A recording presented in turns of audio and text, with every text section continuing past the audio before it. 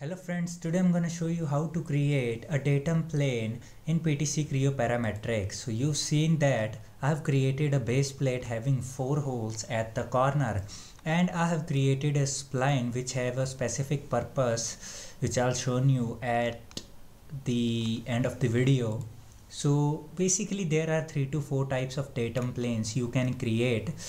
So let's get started.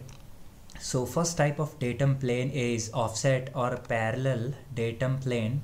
So select plane and select a surface to which your plane is at a certain distance. Select this surface and you can move the plane which is parallel to this green surface at a certain distance and in the translation box set value let's say 200 and hit ok now go to plane display and you see a datum plane 1 is created that is at 200 millimeter offset from this surface.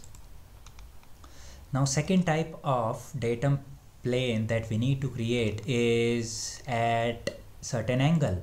So select this plane and select this edge, press Ctrl, select this upper surface and you see in the reference dialog box that the plane is passing through the selected edge and is at offset 45 degree angle offset from this green surface. Hit? Ok so you see the second datum plane is created. Now the third type of datum plane is tangent datum plane. So select this plane press ctrl select select this hole and select this hole now in the reference dialog box change this through to tangent. Similarly tangent. And you see a plane is created which is tangent to both of these holes and now hide all the planes that we created. And the fourth type of datum plane that we need to create is the normal datum plane. So that's why we create this spline to show you how to create a normal datum plane.